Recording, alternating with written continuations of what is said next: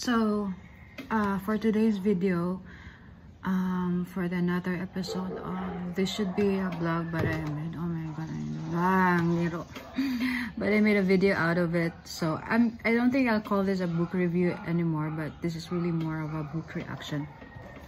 Because nag-react naman ko. Because I think book review review has more of a guideline or how do you format. So, um, karon lahi ni siya, lahi ni siya nga book review because the book is not yet published. The author shared this to me and honestly I made a video out of it because kanang mauwaw would go like to say my reaction to to the author directly. So this is the book.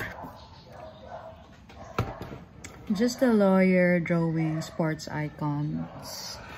Um, autobiography, art, instructional, and poster book. So just from the title, you will know that the the author is a lawyer and then he's into sports and then he writes. So sana all. so uh it the, the writer is uh, Cebuano. Anyway, I love autobiography. I think na ay time nga puros lang autobiography, biography, memoirs, or anything written about that person. Akong gibasa. So, I think, um, on top of my head, oh, I don't know, but, um, ako yung ma, ano dahil is the book, uh, Howard Schultz, the founder of, the, the founder, I think the founder of Starbucks. Yeah, it's a nice biography. Like, I think siya gid ang nagsuwat.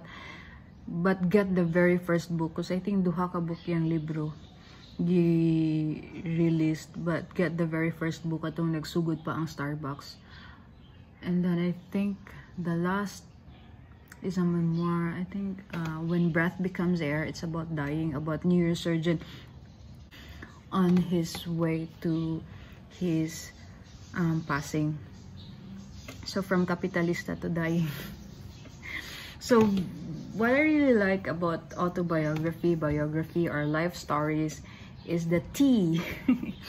it's the Marites and me, the T. See mo go the autobiography from an author's point of view.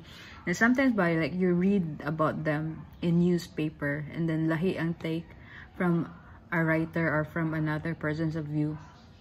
But then when you read the experience from ilahag yung point of view, lahi sad, and you will probably have makasabot ka like why why were they being an asshole about the dirty dirty details of how they do their like their business or whatever. So the thing is that wala pa rin ko kabasa biography of an artist. Right off the bat i'm thinking uh, medyo maglisod ko relate to this book because i'm not into sports but i see Hidilyn Diaz on the cover. So i'm like ah i'm an Hidilyn Diaz fangirl. My art my art capital is so pop culture.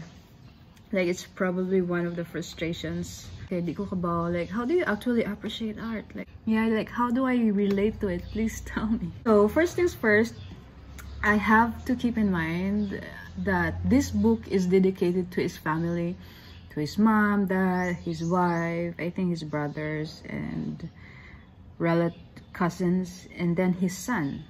So it's one of the reason that he wrote this is that I think the first uh, first few chapters, first 50 pages is about uh, wait, nagkim ko notes is about is about his story about growing up until he became a lawyer, a snippet of how he got married or something in Anna. Like he talked about his mom who encouraged him to be an artist. So her mom um, signed up uh, Marvidal to to teach him art. So like first of the bat, so he talks about Marvidal and then he talks about golf and I feel like oh this is rich kid. so Mara this one, this author is rich kid. He got Marvidal and golf. Like, oh my god, I cannot relate. So, so I think first comment right now is like, I wish more Marites, please, like, like tea details. I don't know what, but first, like, her mom, like, what does your mom, unsa may mom? I mean, not like, you know, like, some grand thing like oh say favorite art sa young mom ana ana and then I wish he also put more tea about Marvidal because honestly if I don't know Marvidal I cannot connect it to he really has a great teacher because Ian teacher is Marvidal so I wish he put more tea about Marvidal. Because I know Marvidal because I have a rich auntie if I didn't know Marvida, I was like, oh, okay, he must just be another like uh, art teacher. But so yeah, give me a Kardashian, a reality show. And I think another thing that he mentioned here is he went to Manila to study for his law, like university and then law. So I I also wish he expound more on like his how do you call that he's being provinciano in a of course like he's from Cebu and he's like rich kid. Like there's really not much how do you call that probably difference of being here and in Manila. But it will also be nice to like you know have a to see like how it is to be a provinciano in a big city. And then after that he came home and then uh yeah he became a lawyer. So i think also like that part like what's the struggle of like becoming a lawyer like taking the bar blah blah blah. And then after that he be he took over like he he he was the leader in the Cebu Golf Country Club. Like he took leadership in that. And then under his leadership he said that okay they all relate to golf but under his leadership um he mentioned uh, they got a lot of awards and championships. So I wish he can also talk about like you know that part like like how they get funding. Probably they don't need funding right because they're rich kids but you know how they train how they I know like um you know just you know the tea the tea oh another one is that about his love story with his wife because his wife is actually I learned from this that his wife is actually an artist also who studied in from San Francisco, USA. Rich kids guy, rich kids. Sorry. so, um, yeah, like their love story and then them becoming being married like what's their routine like do they do art session together like do they go to how do you call this museums and see like what's their favorite art art or like how they view art like you know what, what how they like i want to know like how do these people appreciate art. Ah, yeah, he also talks that he had a, a heart surgery because he has a CHD. Congenital heart is the disease.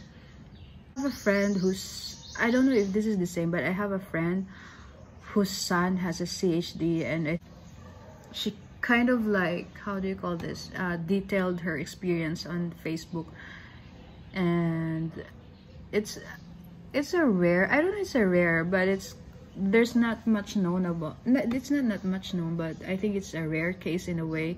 So there's a chd awareness day. We should talk more about it but i think i have to keep in mind that this book is dedicated to his family so somehow yung probably young main audience is the family so he does not need to go into detail about you know their love story about his chd um, journey, blah, blah, blah, blah, blah, blah.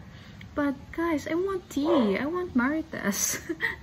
the next part is more about his journey of his art.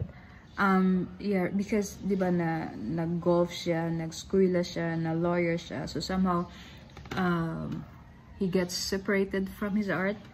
So, the next part is about being reacquainted to art. So, there's a part where he's about validation he discussed validation so there's like uh he, probably he's so millennial and he's capitalist so there's a chapter i don't know like he compiles the facebook interaction he has like the likes and the comments. And uh, am i like old school or something? But i never like i never thought like it's somehow like people like get how do you call it validation or some yeah from social media from facebook and so i think any artist or anyone like any person it's human instinct. We need validation. We need attention. So his way of kind of getting validation if, if someone will pay his art which is like yes that should be. No time for becoming a starving artist or struggling artist. This guy no way to struggling artist so, I mean, it just never occurred to my mind that, yeah, you can actually get validation when you get paid for it. Of course it is, but it probably, it's something you can learn from this. So, eh, I'm having a hard time like re-relating to the art because I'm probably wrong in categorizing it as fan art. But, I mean, I'm a big fan of BTS, like K-pop. Like, I know there's a lot of artists like, um, making uh, illustrations, art about uh, BTS or their K-pop idols. So this is something uh, uh, Sia is more on like the sports icon. And naglisod ko relate because wala ko I'm not a basketball fan. I'm not not a golf, not not at all. Oh. But wala man atay runner diri siya nga gihimo or any triathlete so it's basically basketball. He's an definitely like um how do you call that? 90s kids? 80s kids? Sorry. But I think same age na yan but she but naa si Hidilyn Diaz. So I'm like ah it's weird. But when I get to the part of Hidilyn Diaz I'm like I feel so emotional. Na emotional ko when I see Hidilyn pagkita na ako ni Hidilyn Diaz I feel like crying. So probably this is the effect of his art to people who are fan of this sports icon like Efren Reyes, Manny Pacquiao, uh, Michael Schumacher. This is some of the then Michael Jordan. Oh, I know Michael Jordan, but I don't really have a attachment to that guy. But you know, 80s, 90s, sorry, 90s kids you watch Michael Jordan because everybody watches it on VHS tape. So I think one of the things that I wish he also put was like um, more tea about the sports icon like but I think that's probably a different ball game already for him like this is art which is already take a lot of time to make and then and then writing about the person like yeah I like I kind of wanna somehow he puts like more anecdotes or like you know insides inside a bit of inside story that I do not know so that the uh, you, you know like introduce more the person like a funny way that you relate to this. So when I get to the Hidilyn Diaz part I'm like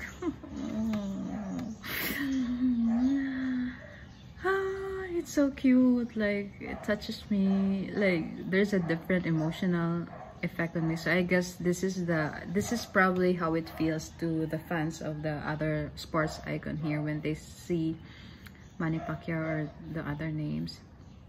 Yeah he also under there's also a chapter here or chapters here where he explains his process his art process like um, how like there's a step one step two step three. As a kanang tigansilyo or a crochet or a knit like yeah I can relate to that on mo pag himo ang iyang art.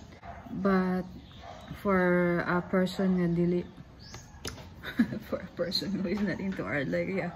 What is this man talking about? So other from sports icon he has. Yeah I like the Batman he make. Like there are two like three art that kind of like pops up in me. The Hidilyn Diaz of course because I'm a Hidilyn Diaz fan. Then the Batman. I'm not a fan of Batman but uh, I'm like this is I I like the I like his illustration of or his own version of Batman maybe because it's colorful. See that's my that's my criteria of art. If it's colorful or something. And then i also love the santo nino because he's he doodles it. Uh, he he also draw an eagle which is nice. Where's the part with but anyway there's a yeah here. The santo nino because he kind of like doodles it. And i love doodles. Like i love doodle arts. So this is something different from the sports icon. Yeah, I I really love the Santo Nino art also. So I guess I'll end this with an excerpt from the chapter realization summary of what I learned from this book is um, okay. In those instances, I endured long phases of separation from things most dear to me. I was separated from art, from golf, and from the woman who would become my wife, but I stubbornly did not dwell on the detachment aspect of separation. Instead, I viewed separation as the creation of spaces in between two subjects that leave the room for them to grow. Oh, it's so nice to have put this in a visual art. And grow I did. After my Manila student days, I grew to become a better golfer. After being away from the wife, I grew to become a better partner. And after nearly two decades of art hibernation, I grew to become a better artist.